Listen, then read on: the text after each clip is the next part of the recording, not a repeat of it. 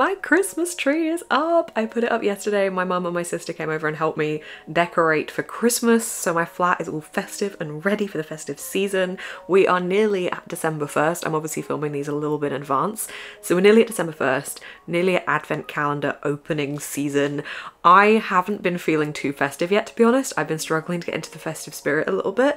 And I think that there's often a lot of pressure around us to feel festive earlier, but actually, you know, if you don't feel festive in November, that's okay. It's also okay if you don't feel festive in December as well. But like, I normally start feeling festive around this time of the year and I haven't yet so I'm like please arrive festive feeling but I'm hoping having my decorations up will help with that. Today's Vlogmas video is just a little daily vlog. It is a Monday. I am working my day job today, but I also have a couple of other bits I need to do. I'm doing Patreon sprints later, and I maybe want to try and finish this book, possibly might be overkill, but I'm to give it a go. This is Divine Rivals by Rebecca Ross. Divine Rivals is a historical fantasy following two different characters who have an enemies to lovers slow burn romance vibe about them. They are both writers for the same paper and they both want to be war correspondents to be able to go off to war and write on what is happening on the front line. This war is a fantasy war of the gods that people are fighting in. This is very much World War inspired. I don't know if it's meant to be inspired by World War One or World War Two, but it's definitely got that kind of way about it. And we're following our main character who is trying to get a job working as a war correspondent rather than just being a writer who writes obituaries and things like that and her rival writer who is also going up against her for the same job and everything that transpires after that. Our main character, she's a writer and she's called Iris. In the film The Holiday, there's a writer and she's called Iris. So as far as I'm concerned, this this is now a holiday retelling. I will take no further questions on this. I wouldn't mind if Jude Law showed up. Just saying. It actually has nothing to do with the holiday, other than the fact that there's writers and one of them's called Iris, but you know, I've got Christmas on my brain clearly right now. So this is the book I'm gonna maybe try and finish today. I don't know why I'm putting that into the ether, but I am. This is my progress in this book. I have got around 200 pages left. I finish work at 4.30. After that, I intend to just sit and read as much of this as I can around preparing food and existing as a human. This is my task for the day. I do actually have one other task for the day, other than all the other things I have to do. There's many things I have to do today, but let me show you this one. so I got this Hobbiton sign at Comic Con a few weeks ago and I bought it to put here and I keep putting off doing that so I need to do that. making holes in my wall stresses me out, especially like trying to work out the logic in my brain of making sure that it's straight. And I know I probably could put some kind of tape, like command tape stuff on it, but I think that I, I know I want it there. I just need to measure it all and I think that nails is going to be fine. So I need to do that and I've decided that if I put it in a video and say I need to do it, that holds me accountable so I actually end up doing it. So this is also on my list. Maybe we should just do that now because it's literally going to take me minutes. I'm just being I'm procrastinating. I'm procrastinating. I've got this pencil that I'm going to use to mark the wall and it says it's an emergency stake from Mina and the Slayers which is a fantastic book in the Mina and the Undead series by Amy McCaw. Really good fun if you want something vampire set in New Orleans. So I'm going to use this to make my, my marks. I don't really know where I want it exactly. This is the pressure. This is the pressure that I don't like is trying to pick where to put the damn thing.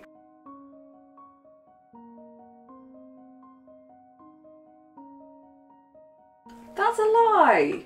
Apparently that's what my spirit level thinks is straight. I mean, is it? I hate doing this. This is so stressful. that does not look straight to me. Maybe it is straight. Is it? Is it straight? Maybe that's straight. Okay, let's make new dots. Oh no, I broke the end of the pencil. Why am I allowed to do things like this? Oh no, I don't know which one's the new dots.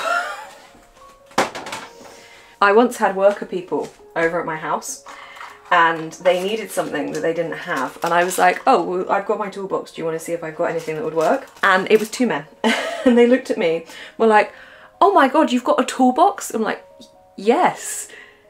Why is that shocking to you? They're like oh we just didn't expect you to have a toolbox. I'm like okay why is that exactly? And they're like oh no reason. I'm like okay cool right. I have a toolbox. I have wall plugs and screws and nails and like whatever this is. I have these things. And this is really useful. I also have a hammer because I live alone and I need to put things up on walls wonky.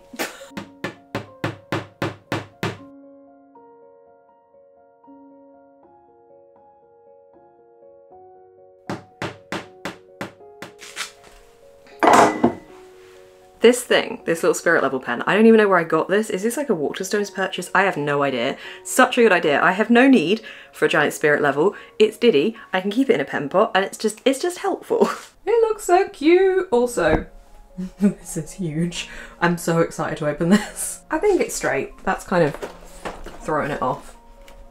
I think it's straight. I'm having that. I'm having it. I think it looks good. It's cute. Look how cute and cozy my Christmas tree looks. I've got my Christmassy ASMR room on, I've got my hoodie, I've got my cozy setup. I'm gonna sit right there and read as much of Divine Rivals as I can tonight.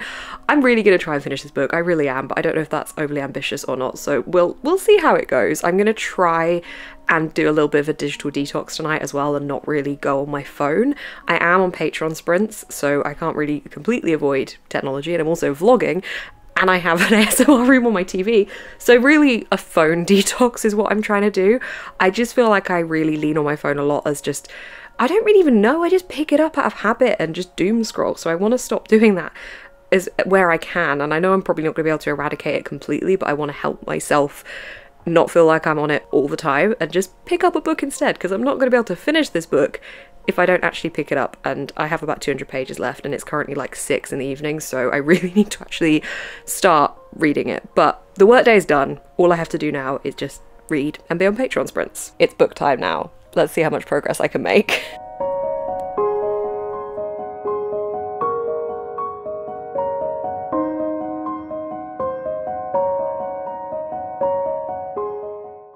So I've reached the page 200 mark, which is actually fairly decent progress. I've got under halfway left to go and I'm really enjoying this.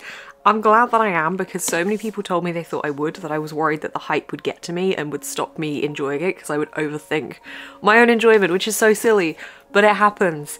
The hype can get to me but this is good. It's really good. I like the fact that we've got this fantasy war setting. I think that's really interesting and isn't something that I've read about before in the way that it's based kind of on a world war. I'm still not really sure if it's meant to be based on World War One or World War Two or just a kind of accumulation of both of them. The romance, we're going to talk about that for a sec because I don't really enjoy romance in books necessarily. I don't actively not enjoy it, but it is certainly not something that I go out of my way to look for. The romance in this says it's enemies to lovers.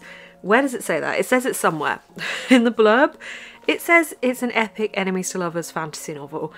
Now, I'm gonna throw it out there that I don't think it's enemies to lovers. I mean, I can't speak for the lovers part yet, but I feel like they're they're kind of more irritated by each other, vaguely annoyed by each other than they are enemies. I feel like enemies really implies a real passionate hatred.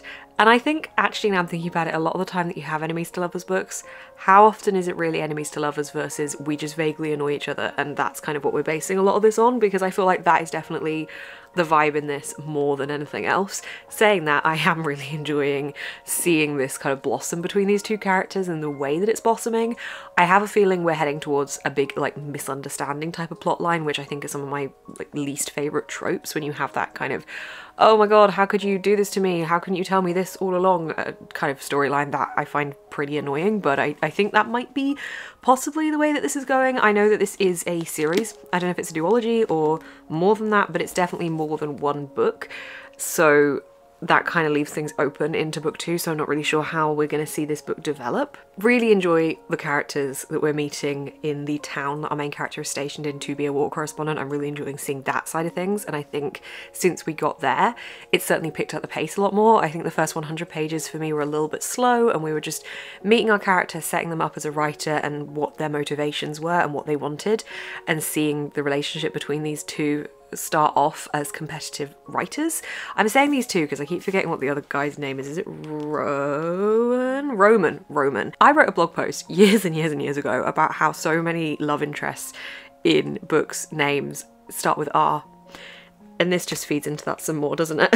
okay, Roman. Roman and Iris they yeah to start with i think we were very much just kind of getting the introduction and building that up but i felt like it was a touch slow and i think that's probably why I didn't really jump into it as much as I have today alone because now the pace has got going. Now I feel like I just want to devour the whole thing in one sitting. So that is what I'm going to try and do. I've actually just reached chapter 28, which is called A Divine Rival. So we've got the book name in the chapter title, which is very satisfying. So I'm going to get back to reading.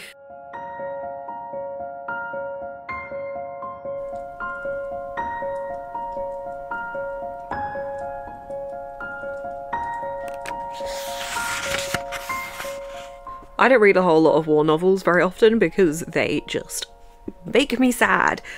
And this, oh, ah, it's packing a punch. It's packing a punch. Also, tension and just, uh, I feel invested. I have like just under 100 pages left. Just under 100 pages left, I think. And I'm just like clinging on for dear life, hoping that everyone's okay. Basically, at this point, that's my current overriding emotion for this book.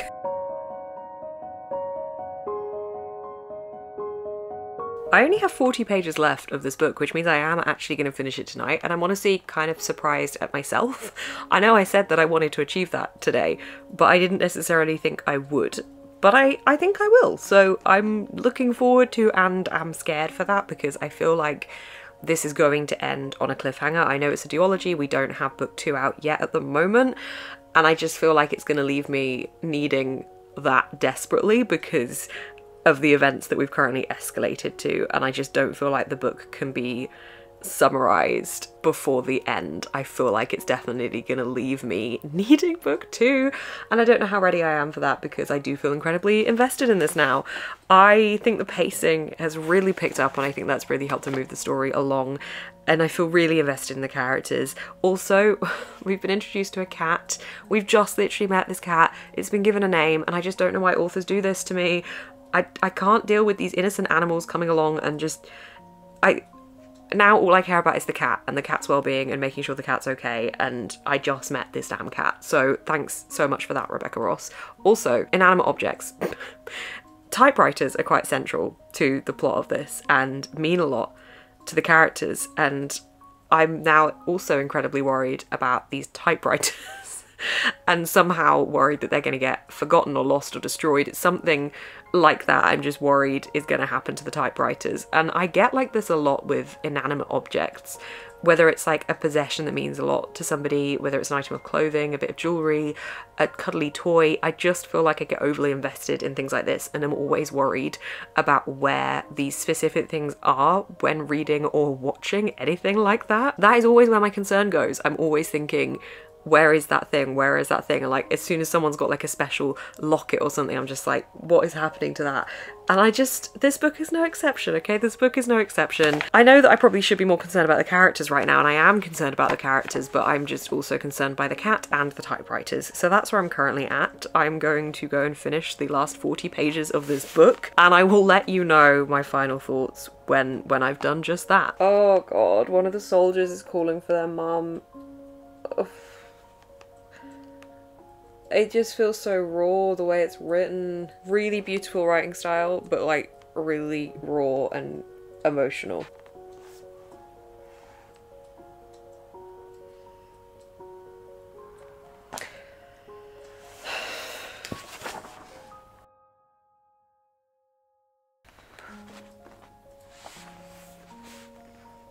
I have finished Divine Rivals.